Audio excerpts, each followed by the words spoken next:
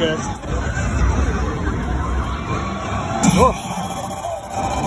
Yeah. That's a good one. That's a good start, you on that.